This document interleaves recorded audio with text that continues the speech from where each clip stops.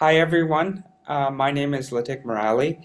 I am an MSc in Ecological Economics, and I am interviewing Pete Smith.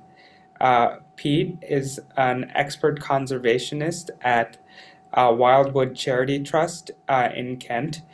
Um, he is the director of the campaign uh, for land value taxes. Uh, thank you for taking the time uh, to meet with me today, Pete. Could me could you tell me more a bit about yourself? Okay, doc. I I um am an ecologist. Um, originally, um, I studied biochemistry, then went on to study ecology, population modeling. I got involved in uh, nature conservation and saving rare species, and I've worked for a number of charities where I became senior. I started um, uh, my own charity specifically for the purposes of rewilding. Um, I'm, I suppose, known for um, organising the first beaver reintroduction in the UK and uh, reintroducing many animals such as dormice and red squirrels and pine martens. And a lot of work about habitat restoration, the purchase, raising money for the purchase, and the restoration of um, rare habitats and rewilding projects, both within the UK and globally. So um, I've, lately, I've been working as a consultant on some global uh, rewilding projects on a very large scale, and so that's that's my background. Um, and but all through my career, I've actually been very interested in land economics. What are the fundamental reasons we choose to use land? And what are the forces um, that play when we use land, both efficiently and inefficiently? And that's how I've become very active in understanding economics and in the um, campaign to promote land value taxes. Thank you, Pete. Um, so um, I suppose you are very familiar with the uh, work of Henry George, Progress and Poverty. That's a very popular book among progressives um, who advocate for land value taxes. Uh, next, um, uh, I'd like to ask you, um, what is a land value tax um, beyond the textbook definition of a tax uh, on um, on land? What what is the definition? Okie doke. So we're we're getting into both theory and and practice. So in my view, we have the textbook definition ad valorem taxes on the rental value or the unimproved rental value of land. And what we're really talking about by those gobbledygook words is a yearly tax. Just as if you rented that land as if there was no buildings on it, right? It's just the, the land itself, no improvements, just the land. And that essentially it can be considered its location value or its monopoly value. I think it's easier to use the words monopoly value because that comes into the next um, of the definitions we should think of and what is our land value taxes. Essentially, they're monopoly taxes. Wherever monopolies exist, you can either solve it by taking those monopolies and putting rules and regulations on it, or you can tax it. And that's what Henry George and many other economists. Uh, Henry George wasn't the first. In fact, every great economist throughout history has recognized that the taxation of monopoly not, doesn't distort things, doesn't rob people of jobs. So you're looking at monopolies, and monopolies are all around us. It's not just the unimproved land value, the location value of land as a monopoly.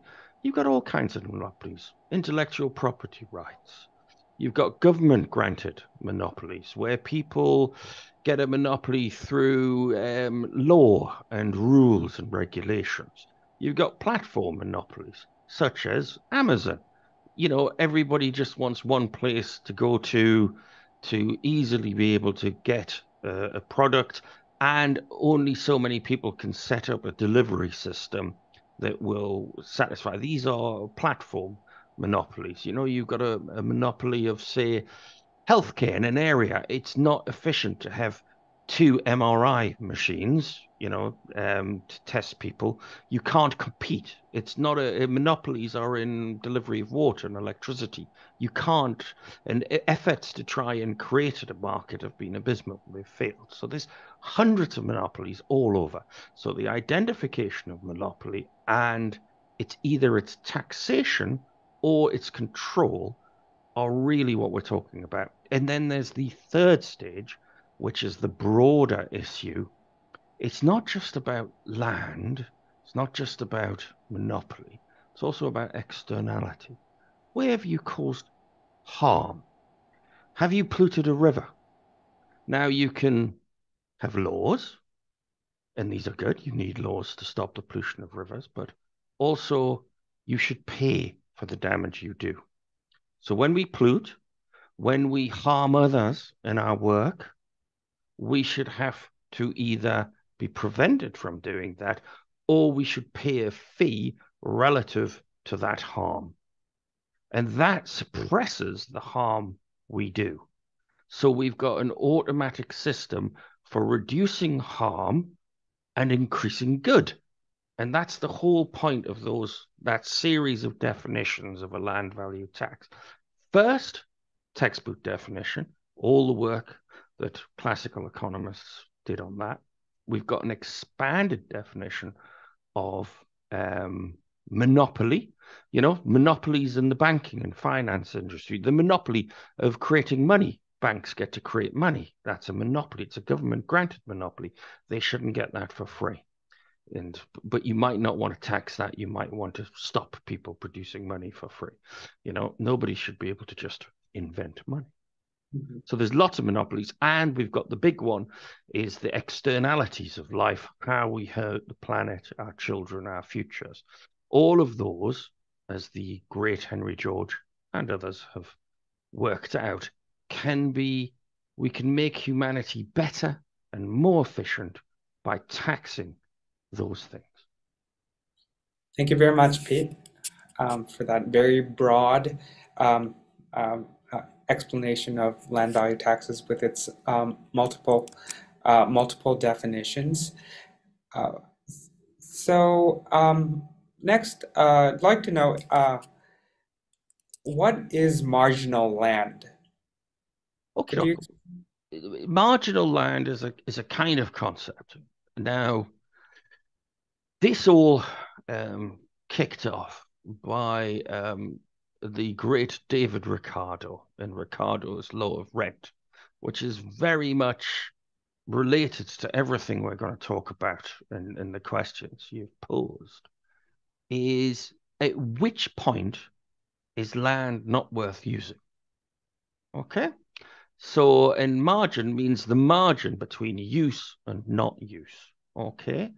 And in most contexts, it's the point where a farmer says, can I be bothered to farm that land? Or a hunting estate will say, is it worth us, you know, allowing people to go hunting there? Can we get so there's different land uses, but all of those land uses have margins. So there's not one fixed margin, there's thousands of margins. You've got margins. Is it worth building a motorway to this place? Is it worth having a school at this place? Is it worth farming? Is it worth um, having a hunting estate? Is it worth um, putting work into having a nature reserve there? So each one of those points are margins where we choose whether we should do something with this land. Should it be privately invested in or government wants some kind of use? Because we're looking at what's the reward for the effort through all the different land uses. So we've got marginal land, which is is it worth farming? Is it not worth farming? But we've got all the other land margins of how we use land. Sorry to complicate it, but that's the definitive answer. Okay. Um, next, I'm just going to ask a uh, spontaneous question related to margin, marginal land. Uh, what's the uh, relationship between um, government subsidies and marginal land? Well, any form of subsidy shifts the margin. So lots of things affect margins, right? What's the tax burdens? What's the inheritance rules? But if you give a subsidy, say we are going to subsidize land um, by giving farmers a subsidy, all it means is they are going to push out and use more land to farm. But here, but it gets very complicated in that you will choose to use land, but not invest in machinery or labor to farm that land. So you end up using land more inefficiently. Okay, so you have to think as the as a real deep economist thought is any form of subsidy will use you. If you go and subsidize butter, people will buy more butter. That's the simple thing, right? If you pay people to eat butter, they will eat more butter. How much you pay, how much butter they consume, right? Simple as that. So we can think of that with land. But as an economist, you're going to think of all the other issues. What's the inputs, the pesticides, the labor, the capital investment? All these things come into land use decisions. Um, so, yeah. And this is, for me as a conservationist, this is the real cracker we have environmental subsidies, right? Agri environment schemes where we give farmers money to farm a little less intensively. Now, once you learn land economics, you realize how stupid this is right, for nature conservation. On the surface, it sounds wonderful. Let's give the farmers money, and they're going to be a few more bees and a few more butterflies. But what we don't realize is more land's going to be farmed, which destroys nature far more than farming land in a wildlife friendly way. We might as well just leave it alone. And that's where nature conservation organizations, because they like all these subsidies, pays wages, keeps, you know, offices going. They like all these subsidies, but really, it actually still damages nature. All subsidies. Obviously, agri environment schemes damage nature less, and just headage payments that are being reintroduced to the UK, absolute insanity, and other forms of, of subsidy. Also, you've got price support subsidies where you you price you support the sale or even where you you put tariffs on goods coming in. They are all effectively subsidizing land. And by the very definition it means more nature will be destroyed that's very uh, uh, unfortunate. Um, yeah hope hopefully um, you know go- governments can uh, act on that uh, environmentally favorably. Uh, so, um, do you have anything to bear on how your um, how your insight into ecosystem services and biodiversity um, ways that a land value tax can um, can uh, work to, work to their benefit? How they can be applied um, across the globe. You said you did some global work, right? So there are different um, uh, political um, political administrations. There are different types of geographies um, throughout the world, like um, and the the climatic uh, conditions differ substantially um, between uh, you know the like for instance of the global north and the global south. Um, this one perspective. So, how, how do you uh, think um, you know it can be applied, uh, say, to the developing world or to the developed world? You know, just another other another country. Well, you we need to think of this logically. The economic forces uh, work the same in Papua New Guinea or in Los Angeles, right? So each country has different rules and regulations. We can see around the world where you have the public collection of monopoly, economic rent, or the state ownership that generally nature and people have better lives. So if we if we drill down and look at some examples, right? Botswana, they they luckily never had the English law on land ownership. They still retain the law of uh, leasing land and tribal rights, and different land has got different um, leasing requirements. You have to pay for it, or it's owned by a group of um, tribal elders who make decisions. It's owned in common. It's like the old commons. And all this means you effectively get more wildlife and better off people with better education standards, better welfare standards, better health standards. You can go down all the metrics and look. It, the countries that capture land value in some way, Singapore, Japan, um, Hong Kong, they can all have even developed societies, doesn't matter where they are on the development spectrum, they will generally have happier, healthier people and more nature. You know, sounds mad, but it really does work that. You know, Hong Kong has got some great nature areas, even though it's got some pretty grim living conditions because everybody's densed in. If they didn't have the land value capture system, it would be a lot worse in Botswana, you have got continent leading levels of education, life expectancy, infant mortality, purely down to the rules of using land. You've also got fantastic wildlife. Um, I know the area really well, used to work in Namibia, and you can really see the difference where you have some form of state control. Because the minute you have privatized land wealth, where the private individual captures all the economic rent, that creates the the incentive to exploit land and all natural resources. It doesn't have to be just land, it can be water, it can be natural resources. So you will start exploiting that and creating greater externalities.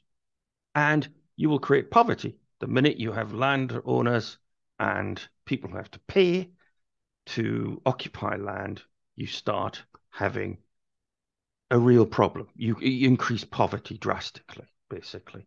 And then you get the problem that people can't earn enough money and there's no jobs, and you tax people's work so they get even poorer, and you have even more poverty. Now, how you administer a tax, depending on the land or the natural resources you want to limit its use and get government revenue from can work in many ways. Um, you could see that in history, um, in the British system and in other countries, there were fees charged for the use of certain natural resources.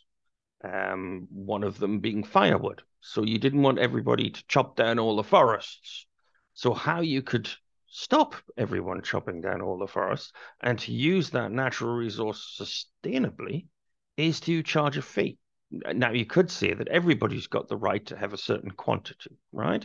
To meet their absolute barest needs. But if you want something more, if you want to exploit for economic gain, you have to pay a fee. This is a perfect system for all forms of natural resource use, whether it's coal or copper extraction or cobalt, and you can combine the fee-based system with its externality uh, component as well. So having just a permit system, there's a wonderful example of I was studying not so long ago of fish um, fishing rights, especially around the Falkland Islands off the coast of Argentina, where you have to pay a charge and they assess the population with squid that is famous for this certain highly valuable squid. The, the, their scientists measure the population of the squid and they will charge a fee and limit the amount of licenses.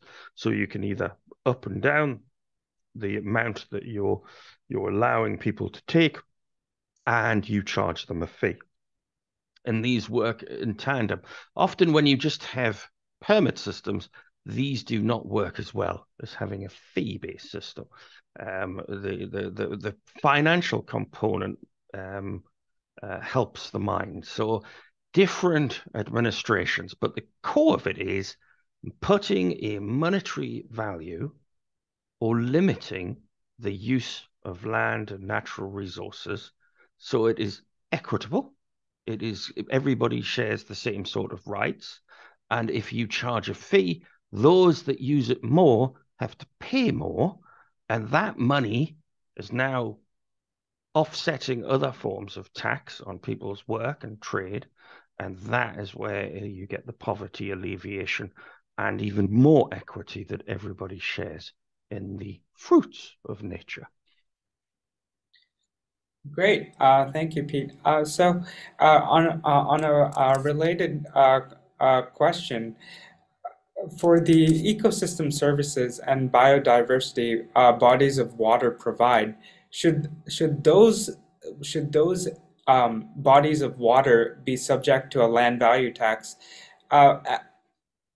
They're not necessarily subject to developers, but they can uh, build, uh, for instance, um, you know, in the in the ocean, not very not very far from the shore, there can be oil rigs, for example, and Mm-hmm. those will be very damaging to ecosystems, and you know, uh, you know, actually, first and foremost, very damaging to biodiversity.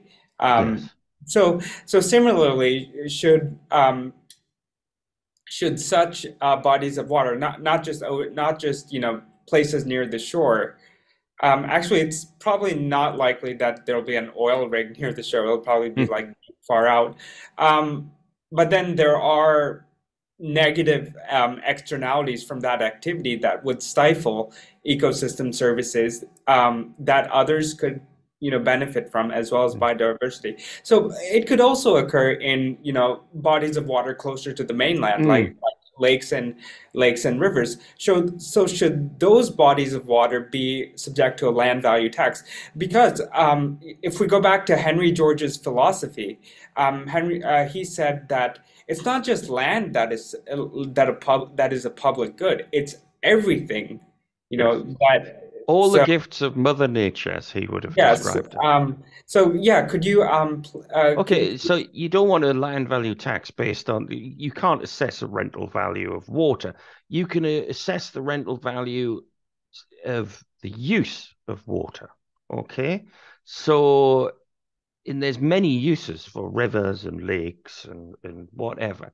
So originally, is there a monopoly value? So most of the monopoly value of of inland waterways and even coastal is in the properties that are situated by the sea. So a land value tax will will take that monopoly value anyway and use it for public goods.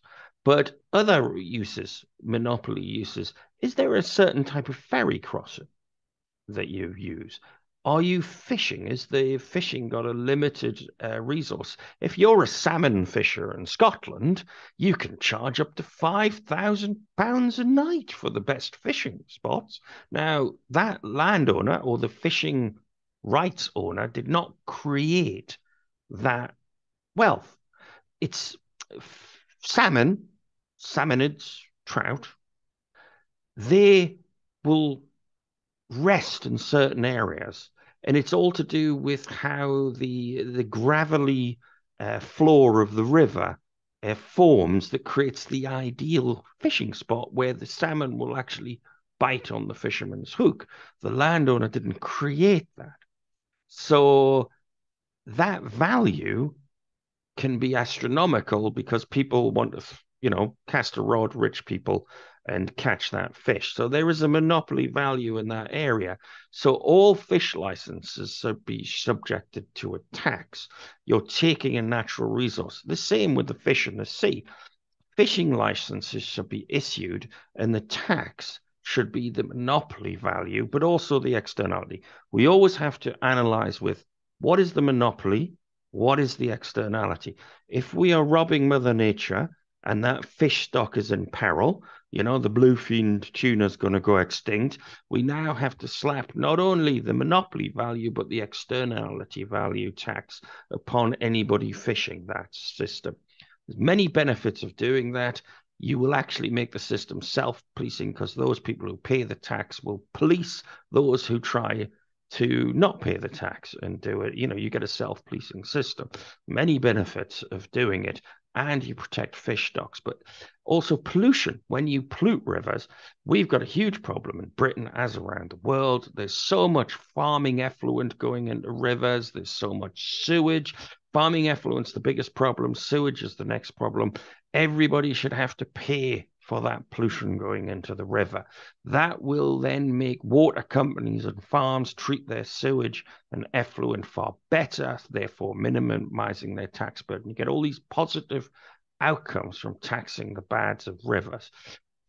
Some places, navigation is a problem on rivers. There are a few places where there's too many ships. Then you have to say access to that has to be charged.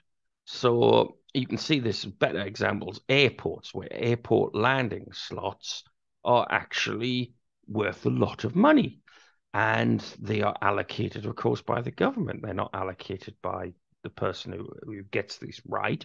So that should be done, can be done at auction, can be done in a number of ways of assessing that monopoly value. And such is river water use. A, a great chap I once met, he was high up in the, um, he was a, a British representative, diplomatic representative to the um, United Nations he told me of his efforts to try to get revenue for UN projects such as for human rights and to protect children and to make sure people get um, enough food to be funded through international copyright levies and fishing and natural resource uh, exploitation in non national waters. And he was told that the American government basically said they would um, get everybody sacked if they did this. They don't want, they didn't want to have the UN funded without the control of the nation states for obvious reasons. But it would be a fantastic way to fund the United Nations. It would not cause um, people to lose jobs. It would have benefits for the world and huge benefits for the world. So there's these are the ways we can look at water bodies, I suppose. And but the analysis has always got to be what are the monopolistic aspects of those use, and what are the exter- externalistic um, problems that you can reduce through taxation. Thank you, Pete. So just to clarify, um, when you have used the term monopolistic, uh, do you uh, do you mean uh, property rights and what is excludable? Any form of monopoly, which you can use as a mathematical system, where you see that that value is derived from some form of limited ability to use that product, where competition doesn't come along. Okay, so it's not a free market.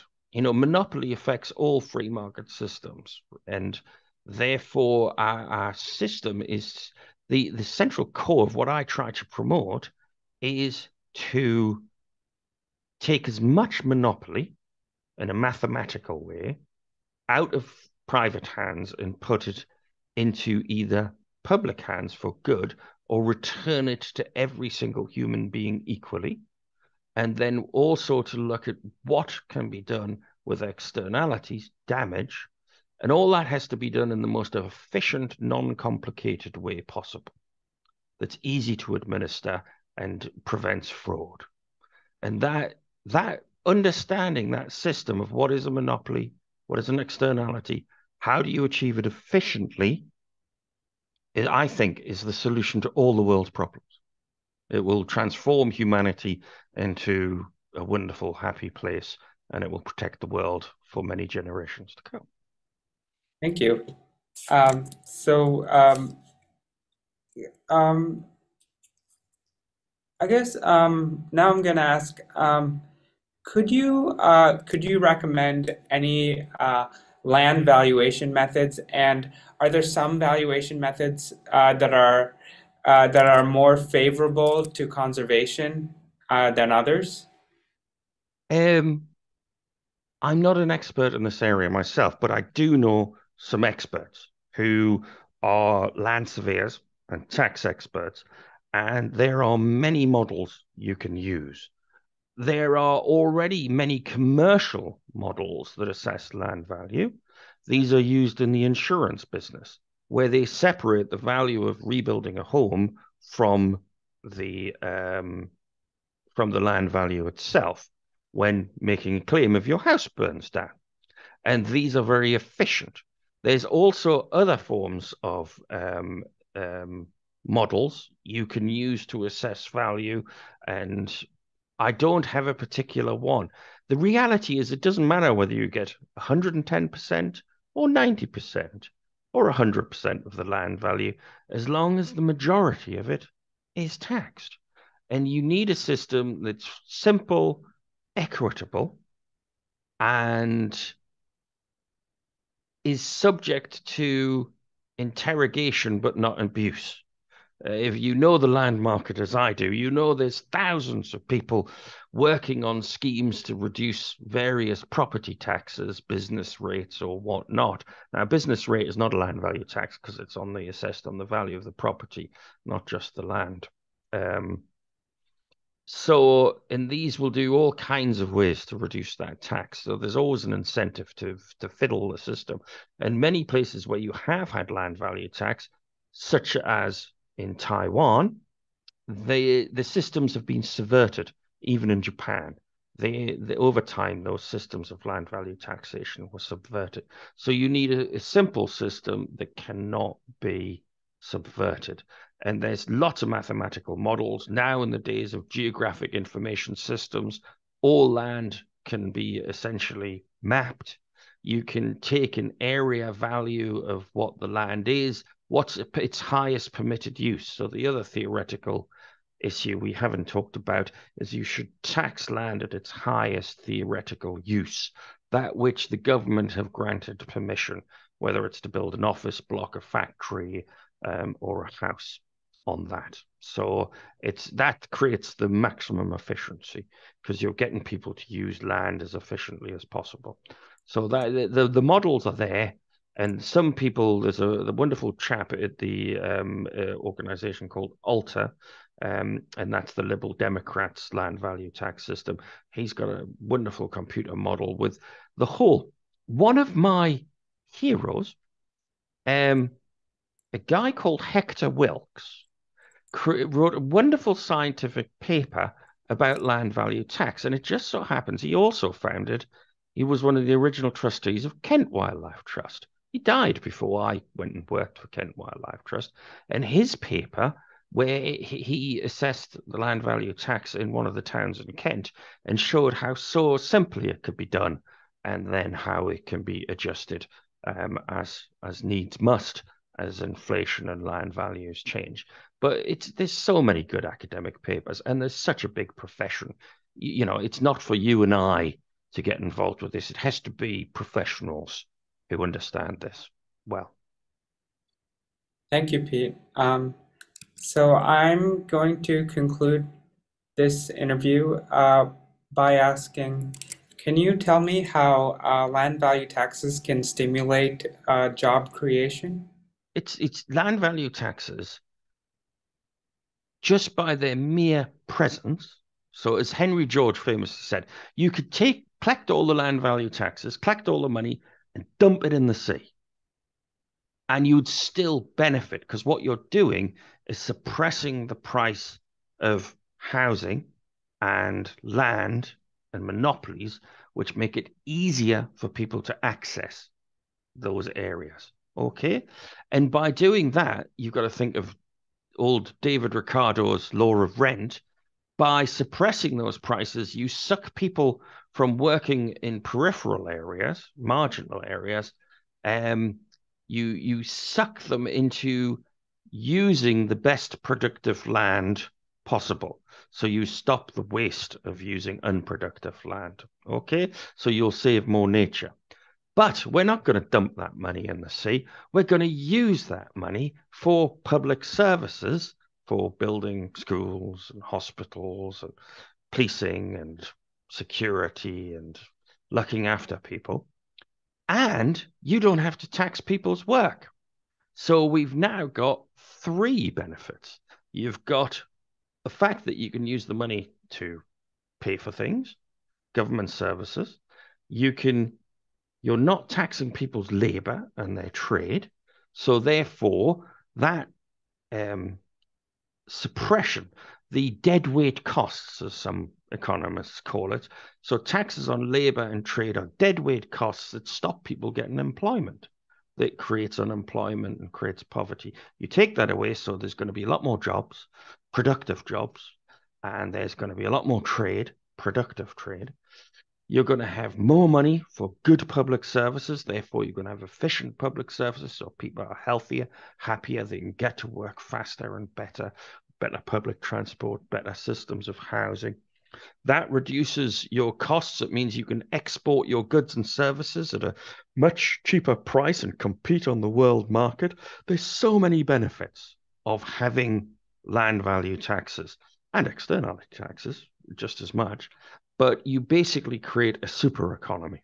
And those countries that have delved into taxing land in one way or another are the most competitive countries in the world. Singapore, um, not so much Japan now, but Japan and the history, um, um, Hong Kong, um, stuff like that. Those people who can capture land values. And look what happens when land values go out of control. We're now seeing the death of San Francisco, one of the most productive places in the world, the place where the greatest minds created the greatest um, electronics and new industries. Their house prices have gone up that much that people couldn't afford to live. It literally destroyed the city.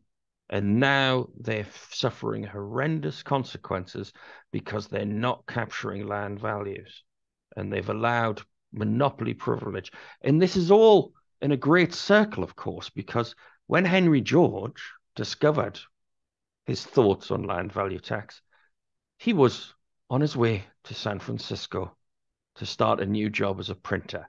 And he described the history in his great book about how San Francisco started off with wealth and jobs for all when land values were low. And as people took land into private ownership and as they became more productive, it created poverty because of the disparity of who owned land and who did not. And we've now taken his observations to their most horrendous, farcical conclusion with what's going on in San Francisco today. Why um why do you say it's a farcical conclusion? Because you've got probably the most productive place in the world for new industries, you know, whether it's Cupertino or around that area. And um, all that productivity has just been captured by land values. I mean, the great investor Peter Thiel said it uh, great. He was an investor in new industries and said, all my investments just going to pay rent on the land of the offices and the homes of the people who are coming to work here. There's no money for productive investment. It's the whole thing's farcical. It's you've basically taken the greatest minds and you've trapped them in the amber of horrendous land values, which is destroying America's competitiveness and all the ingenuity of the best minds of all the people around the world who come to live and work there. Yeah. Um, yeah. So hopefully we see some resolution for that. Yes. Um, you know, within the next uh, half century. Yeah. And look at all the homeless. California introduced a law to stop the increase in property taxes, not a true land value taxes. And this is what's caused all those 10 cities to sprout up you know, whole productive communities that used to have lots of work and happiness are now mired in horrendous poverty, vast uh, tent cities, homelessness, poverty, drug use, crime, and it could all be solved by land value tax. Thank you, Pete. Um, it was a pleasure to have you. Uh, uh, best of luck. I wish you the best in your um, endeavors uh, as a conservationist and with uh, Wildwood Trust and uh, promoting uh, land value taxes um, in um, in your efforts. Thank you. And thank you for being interested in what I think is the most important subject anyone can think of. And these days of You know, look at the wars that go on in the world, international problems. People are really warring over natural resources. You know, Russia, Ukraine, America, China, they're all just bullying each other to try and get control of natural resources for the future. If that profit of natural resources was removed by every country having a land value tax, there'd be no reason to argue and go to war, would there? Yes. Now the wisdom of Henry George should permeate all our minds. Yeah, uh, thank you for that. And thank you. You take care. All Yep. the best with your research. Yep, thank you. Bye bye.